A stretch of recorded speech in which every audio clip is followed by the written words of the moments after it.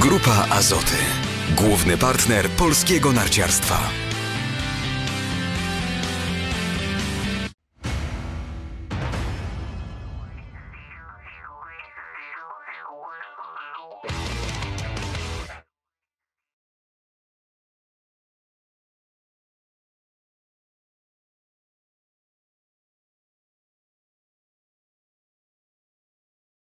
Przede wszystkim no, ta decyzja jury mogła być dzisiaj inna.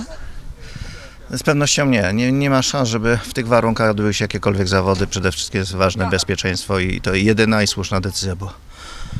Te warunki chyba nie pozostawiały żadnych złudzeń już właściwie od wczesne, przed, kil, przed kilku dni takich prognoz. To właściwie nikt się nie spodziewał, że się chyba da skakać w niedzielę. No nie da się ukryć, że my e, przyjeżdżając tu śledzimy, co, co się będzie działo, jaka, jakie są prognozy i z góry było wiadomo, że no, dzisiejszy dzień no, nie było możliwości przeprowadzenia jakichkolwiek zawodów. Jest żal i szkoda, że tej drużynówki się nie udało odbyć. Były nadzieje na apetyty na wysoką lokatę. E, Na pewno szkoda kolejnego jakiegoś tam startu, który został przez pogodę odwołany.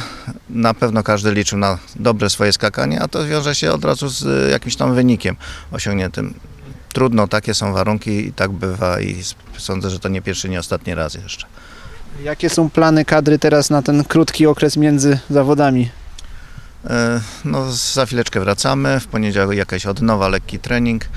Być może będziemy próbować skoczyć e, jeszcze na skocznia albo w Zakopanym, albo w Szczyrku. To wszystko zależnie od warunków. No i w środę już wyjazd do Planicy. Czy jest szansa na to, że Mistrzostwa Polski się odbędą?